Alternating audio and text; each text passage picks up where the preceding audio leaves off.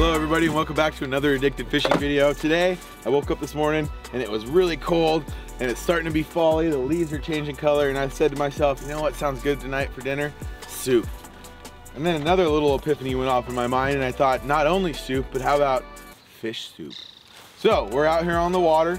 I'm gonna look up a brand new recipe I've never done before to make some kind of fish soup. I'm thinking I wanna make it kind of authentic, like a fish head soup or something like that, but you guys are gonna have to stick around and find out what we decide. So we're gonna hit the water. We're fishing for coho, we're fishing for chinook. I got twitching jig spinners, I got bait, we're gonna go back bounce, but we're gonna try and catch one fish really quick, fast as we can.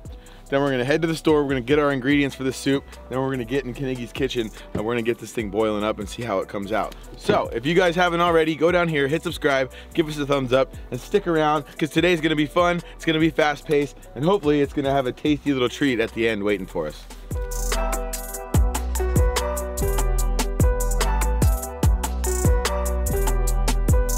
All right, so we fished our way through this little back eddy thing here. Just got it started with the jig. I'm getting a little antsy. I've been getting a lot of fish on bait lately. So what I'm gonna do, I'm gonna put this down. I'm gonna pick up the old back bouncing rod here. I'm gonna put about, I don't know, ounce and a half, two ounce lead on. I'm gonna get some eggs ready. Then we're gonna head up into some heavier and deeper water and try to back bounce for a salmon with some eggs. So I'll show you guys that setup when we get up there.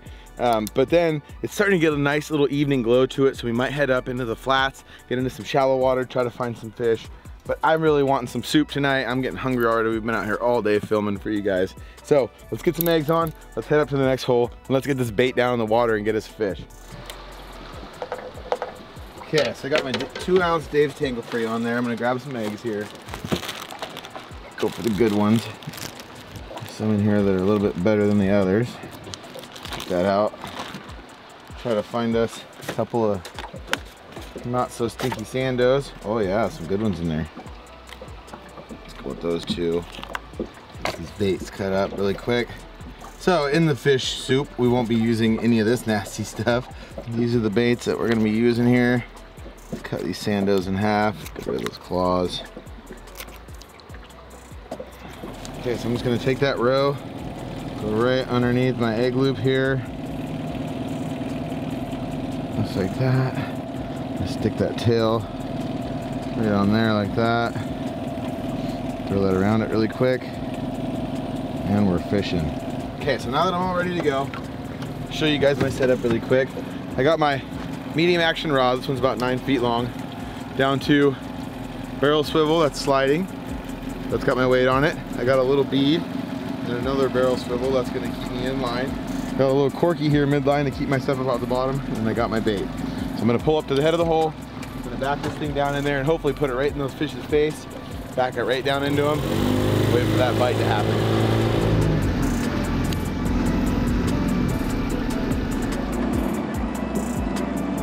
What I'm doing here now, you guys, I pulled out in the current, trying to hold my boat steady and straight, drop my bait all the way back to the bottom, kind of keeping it about a 45 degree pitch back behind the boat.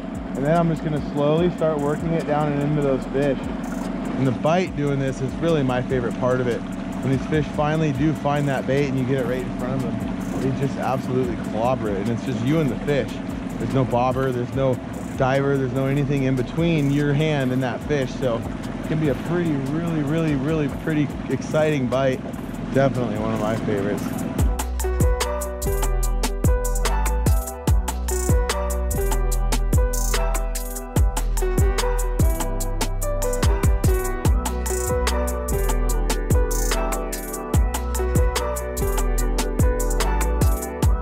Back on the hunt.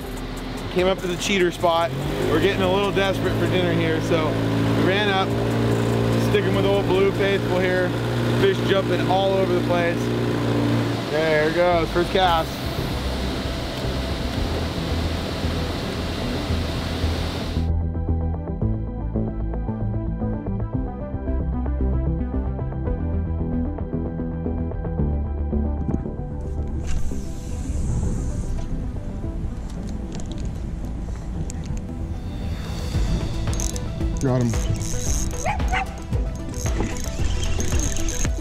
Right when we had lost all hope, you guys, I just made a random cast over into a corner where I see a lot of fish.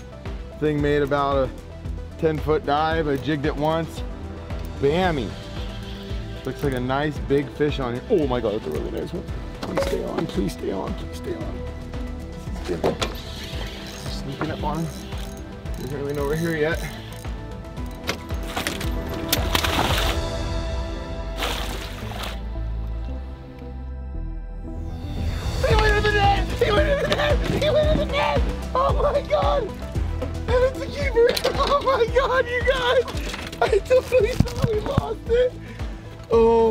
My goodness. Comment below with what you thought of what just happened there. Oh my god. Alignment slack. I was praying to everything that it would stay on there. Yes, that's dinner, guys.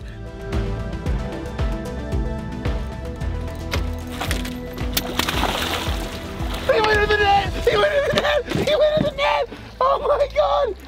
And it's a keeper! Whew.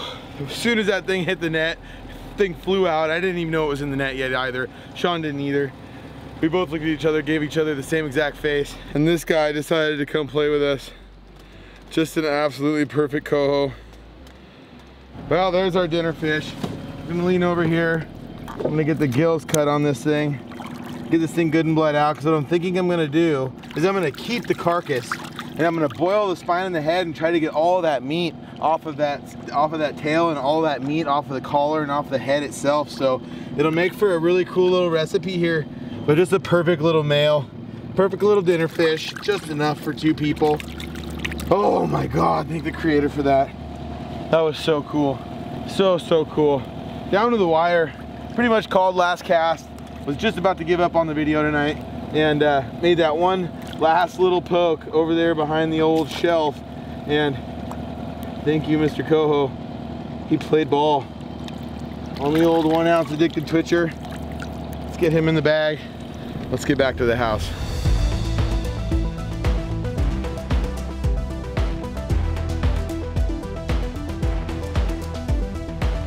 All right, so back to the boat ramp. Getting to get this thing prepared. I like to do, give him a little wash first. Get some of that extra little blood out of the gills.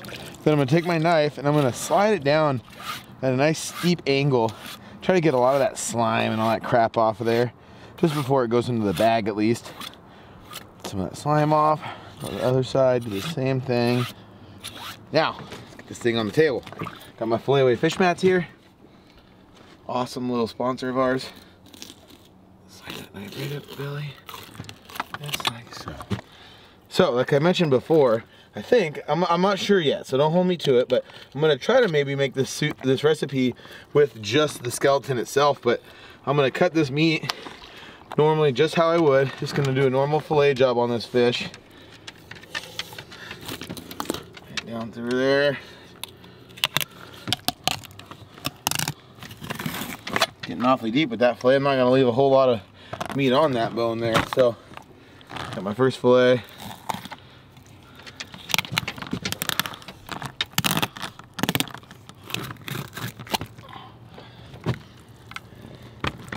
Okay, so there's our carcass. I'm gonna wash that off really quick. Probably get that a little more cleaned up. Just like this. Take that bloodline out. Try to get it nice and clean. We'll do a little bit better job of this at home in the sink, of course. You guys can already see there's actually quite a bit of meat on there. We got that collar meat. We got the meat off of the cheeks and the head and everything else off that inside there. So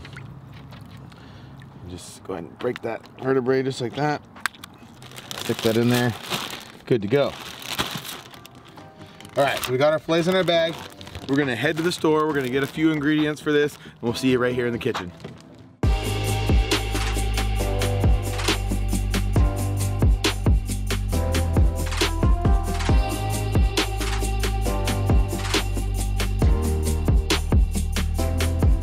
All right, back into the Carnegie's kitchen. So the way this is all gonna start, I'm gonna use the carcass. I looked up a couple recipes. I'm gonna put my own little twist on some of the classic recipes that are out there in the world. And obviously this fish head soup is not something that is new to the world. Uh, it's something that, you know, I've, again, I've had a lot of different people, a lot of old ladies at the boat ramps that stop me and say, hey, don't throw those carcasses back in the river. I want to take them home so I can make soup. So what I'm to do here, I'm to take that dorsal fin off. I'm just to get this carcass nice and cleaned up here. I'm to get that off. I'm to get these gills out. Get a nice little slice right in here. That. Pull those gills back. Get all that gross stuff out of there because we don't want that in our soup. And I want to just try to get it nice and clean so that I'm only getting that good meat and that skin that I'm going to be cooking with. So just to give this whole thing a very, very, very good cleaning because again, this is all to be making up my broth. So I want as much of the blood and everything else is to kind of sour that broth out of there. So I'm to do my best, get this whole thing cleaned off. Take me just a second here for you guys. We'll fast forward through it for you. There it is. There's our main ingredient. Nom nom nom nom. I think this soup is going to be very good, world. What do you think? Whoever told you not to play with your food? I'm gonna do about three. This is about two cups that goes into one of these little jars. So I'm gonna do. Let's gonna do two of these here. Just enough to where that head's gonna get submerged a little bit. Perfect. Put this over on the stove. Get that thing fired up. Get that water going. Now what I'm gonna do, I'm gonna add just a little bit of this, can't believe it's not bouillon. It's just a bouillon style stock. Give it a little scoop in there. And a little bit goes a long way in this stuff, so that's probably what, I'd say about one tablespoon total right here. I'm gonna plop that in. Maybe just go a small tiny bit more, just, just for fun. Plop that in because I don't want to take away from the flavor of the fish. So I'm to add a little bit of vegetable stock, but if you just use just the fish, it'll tend to, you know, kind of overpower. It might be a little bit watery tasting. So I'm to add a little bit of that bouillon. I'm to get this fish head going in there. As soon as this is boiling, then we're to add the rest of our ingredients. All right, so the other part of this recipe that I'm to do there's potatoes, there's dill, there's bay leaves, and I'm adding the mushrooms and the green onions here just because they're one of my favorite things to put in soup. So this is kind of a traditional old Russian and actually an Asian recipe as well. But I'm gonna go a little bit off the grain. Normally they'd use normal potatoes. I like sweet potatoes. They're kind of a timely thing for the fall this time of year. So I'm gonna do these just like they call for in the recipe though, in big chunks. So it says about two inch pieces are what you're gonna want. So I'm gonna take that, I'm gonna slice that thing right down the middle like this. I'm gonna put these great big meaty chunks of potato into my boiling broth. I'm gonna put these in after I add the fish. So I got a couple cremini mushrooms here. I'm gonna go big, big chunky style with these. Again, this is a hearty meal. I'm gonna go a nice little pile of these green onions. This always goes well with any soup. So I'm to be adding this cream sauce to this soup as well. Got a little bit of this fresh dill cut up. Mmm, this is really to light this dish off, I think. That dill is really kind of the staple of a fish a fish head soup is that dill flavor, that creamy sauce. I'm to go pretty generous with the dill. I want to be able to taste that, but I don't want it to overpower everything. So I'm gonna go with that, that amount of dill right there. And then these bay leaves kind of just go in by themselves. These float around and really add a lot of different flavors. So probably put two, maybe three of them in there, just like so. What a colorful, tasty, smelly little ensemble of ingredients here. I can't wait. Let's get the soup going. Okay, see as that water started to start to boil here. That little bit of that bouillon is starting to disperse into that into that water, giving it just a little flavoring and you don't want to overpower it. We're not, we're not making like a chicken noodle soup type of thing here. We're making a fish noodle soup. So, we got our water boiling. She's going. In goes the main ingredients, everybody. Boy, here goes nothing.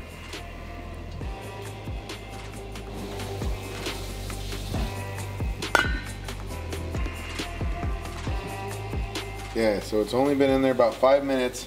You're starting to see that meat already pull apart.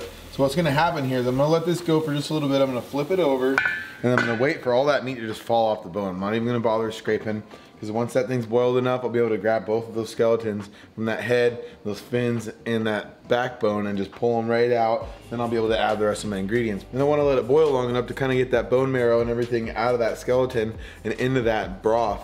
And then I'll pull all the bones out and get the rest of my stuff in here. Just because I'm feeling frisky, I'm gonna go with a couple of three, four whole garlic cloves in there. Oh, I'm already warm and cuddly inside. Good thing it's almost bedtime because after a meal like this, it's gonna put you in the dirt. Okay, I think it's flipping time. See if I can even do it. Oh, it's falling apart really nicely.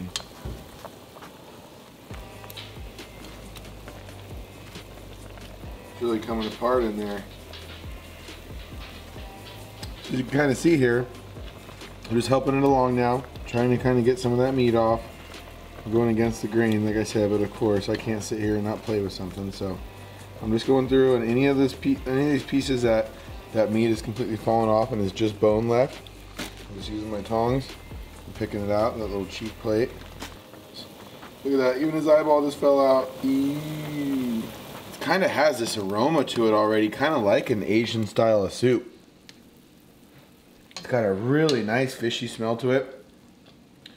A little bit of that vegetable broth adding to it. I mean, like it's. I'm. I'm really, really excited for this. It was kind of just a funny idea of mine to do this, uh, but as it's kind of come along in process, I'm really actually thinking this might be one of a new, fun, cool recipe that I get to use when I just want to have fish a little bit different way. You know. Backbone's just about picked clean there. I'm gonna go ahead and get rid of it. Comment below if any of you addicts out there are watching this and you've made fish head soup or something, somebody in your family has a really good recipe for it. Comment below with what that recipe is or if I'm totally screwing this up. If you're watching me pull this apart and waste all these nice tasty pieces, be sure to comment below and say, hey, you're a dummy, quit doing that. But if you like the way this is looking and you think this looks tasty, be sure to drop a comment below saying the same thing as well. Okay. That's all that's left of the head. It's the pit of the eyeball. All the meat's gone. I'm gonna keep filtering through a lot of this, seeing if I can't keep pulling little bones out just like that. You know, and honestly, everybody, we're starting to get really clean here. You're starting to see all that nice meat. No weird colors, no bones, no crunchy stuff. I did a pretty good job of getting a lot of the skin out of there too, even. This fish wasn't super, super chrome fresh, so, you know, I don't want too much of the stuff that's in the skin in, in my soup as well, so. All right, but you get the idea. I got most of the, the hazardous stuff out of there. Nothing but some good tasty meat in there left. Now, here comes the fun part. So first, I'm gonna do a couple handfuls here. I'm gonna get this thing back going hot. I'm gonna go mushrooms. Add those mushrooms and those potatoes. Turn that thing back up and we'll let these things start going. Also, when I add those mushrooms and those potatoes, I'm gonna throw in those bay leaves. Those bay leaves, as they start to get warm and cook into that soup, will start to add like a nice kind of herby, almost like a oregano or, or a type flavor. And oh my goodness, I almost forgot our onion. So instead of using a full onion, I'm just gonna use a shallot here. It's kind of like mini onion. It's like onion garlic almost. So I'm gonna just do big slices, big chunks of that bad boy. Onions right in there, let those get to cooking. Yummy. Okay, we're gonna throw a cover on that. Okay, so we've given that thing about five minutes. I'm gonna add my big pinch of dill here. Oh, oh, that looks good. Get a handful of these green onions. Last but not least, we're gonna add about a tablespoon of butter. Toss that bad boy in there. And then, the grand finale of it all, the heavy whipping cream. You can use coconut milk if you're lactose intolerant. You can use anything. That's kind of the cool thing about this meal. It's very gluten free uh, and it's very, very healthy. The, that salmon other than this whipping cream, but if you do put the coconut milk instead, that will change that. So I use about fourth cup to a half cup of that whipping cream. I'm just gonna let that start to marinate around, let all those seasonings start to get familiar with each other. A little dash of some secret seasonings. Don't forget the Johnnies.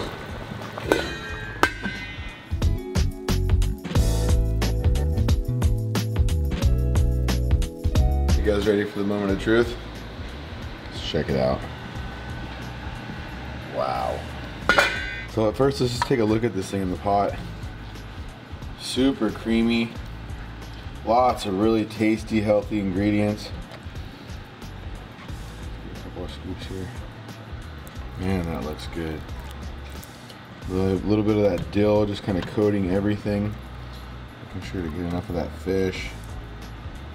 Oh, goodness gracious. Get that one. Yeah, right there. Have a look at that. Doesn't that just look delicious? Like any good chef, I better try my food. So, take, you see how those potatoes are perfectly done now.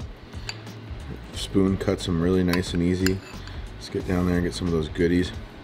Some of that meat, some of that dill, some of that, oh my god, I'm drooling. I'm literally drooling on myself.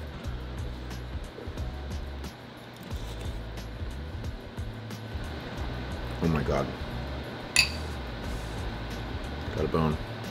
Make sure you get the rest of those bones. I was in a hurry. I'm going for bite number two.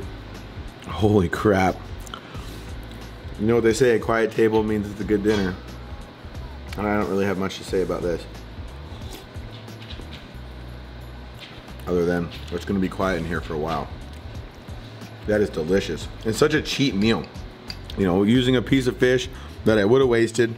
I put the meat in the freezer, gonna make smoked fish or whatever else with the fillets, but was able to use the skeleton and the skull to make this absolutely delicious meal for about $5. And this could feed a whole family, honestly. So let it be a lesson. Don't throw that fish away if you have the choice, especially in the fall when it's nice and it's cozy and it's really cool to come home and eat a nice hot bowl of soup.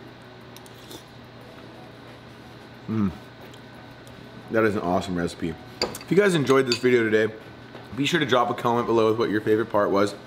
This soup is absolutely to die for. So I recommend that any one of you addicts out there that wants to go and try one of these delicious recipes, go online, check one out. I threw a lot of my favorite things in here. There's stuff that normal recipes don't call for. So Again, drop that thumbs up, leave a comment below with what you thought of today. And if you wanna see more cool videos just like this one, go up and click this link to one of our other catch and cook videos.